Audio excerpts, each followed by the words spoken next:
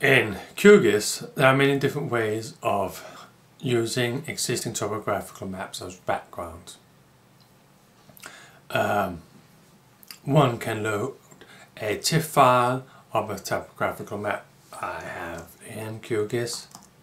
Here I have a folder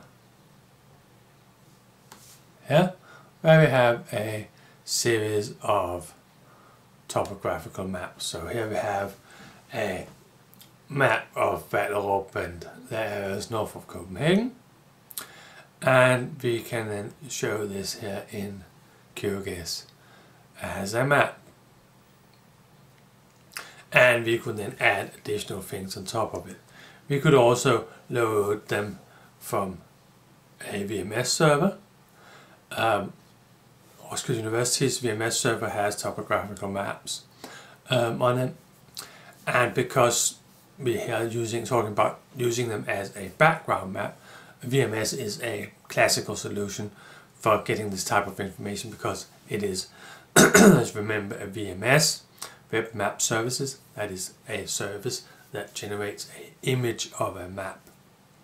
So one could also in QGIS have applied this uh, add a VMS layer and then connected to the university server and extracted uh, VMS layers from there.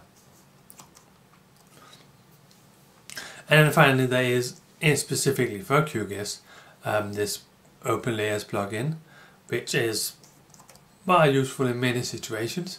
Um, here, if you installed it, you can then go and say Open Layers and you can have a Google map or a OpenStreetMap, whatever you want of these things. Um, there's only one little problem here um, and that is that this uh, Google system here and as has a um, nasty tendency to um, not really work in the print situation. So although we easily can load Google Maps uh, into our data set, we will often find that um, they are useful for, for using as background for creating your own data on top of them, um, but they don't really work in the print situation because there is a little issue about how this open layer um, plugin works together with the print composer and you'll find that there's often a offset um, if you use it. You can work around that little problem if you ensure that your map frame contains the full layout. So you have a map frame that goes from, from corner to corner of your um, layout in um, the print composer then these open layers work. But if it does not you'll find that when you print it or save it as a PDF that you'll get um, some form of, um, of distortion on your map. So be careful with these open layers it's nice it's easy to use and it's really good for creating as a background for creating new information on top of it. But in the print situation it's um, it's a bit of a problem to use.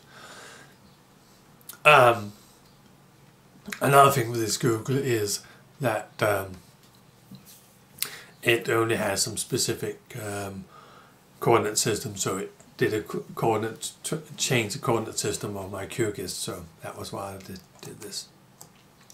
So you can easily get information into um, QGIS as background information, ours as TIFF JPEGs of topographical maps from our file server, or you can use the VMS to get orthophotos or topographical maps, specific periods.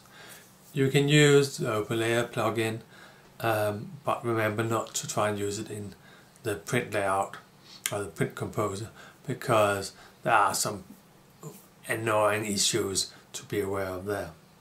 While using existing topographical maps can be fine, there might be reasons why one wants to create one's own maps.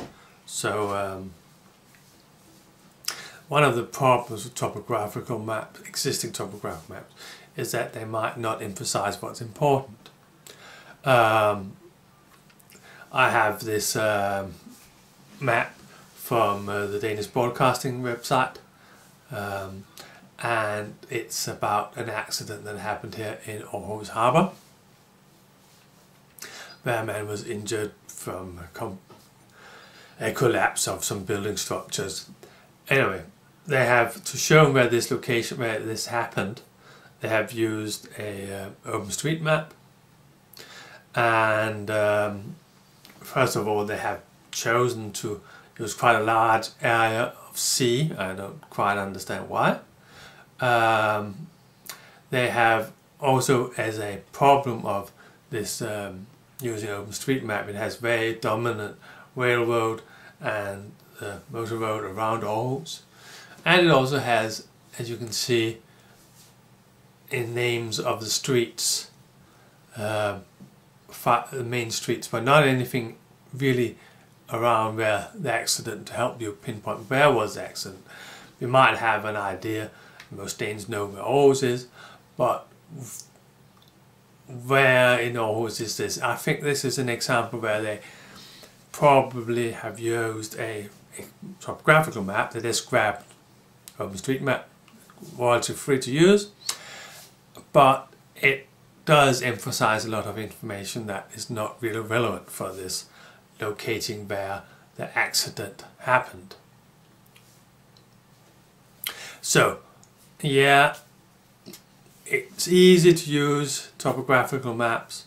You can um, manipulate them to um, not be so dominant, but they have also issues in relationship that they have their own message.